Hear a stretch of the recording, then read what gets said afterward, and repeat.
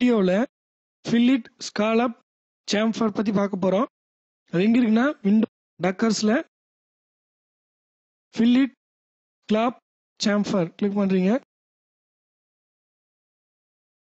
இதில் மூணு ஆப்ஷன் இருக்குது ஃபில்லிட் செலக்ட் பண்ணிட்டீங்கன்னா அதோட ரேடியஸ் உங்களுக்கு எவ்வளோ தூரம் வரணுங்கிறத கொடுத்துக்கலாம்.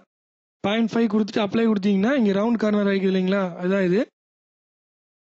அடுத்ததாக இருக்கிறது ஸ்காலப் காலம் செலக்ட் பண்ணிக்கிறீங்க. அதோட ரேடியஸ் எவ்வளோ வேணுமோ அங்கே வேல்யூ இங்கே கொடுத்துட்டு அப்ளை கொடுத்தீங்கன்னா இப்போ இந்த மாடல் மாடலை மாறிக்கும். அடுத்தது சாம்ஃபர் செலக்ட் பண்ணிக்கிறீங்க. அதோட டிஸ்டன்ஸ் எவ்வளோ டிஸ்டன்ஸ் வரணுங்கிறத இங்கே வேல்யூ கொடுத்துக்கலாம். அப்ளை கொடுத்தீங்கன்னா இது மாறிக்கும். நீங்கள் இது மாதிரி மாற்றுறதுக்கு ஆப்ஜெக்ட் வந்து கரு பண்ணினா தான் மாறும். இல்லைன்னா மாறும். உங்களுக்கு என்ன கொஸ்டின் மார்க் ஒன்று கேட்கும்.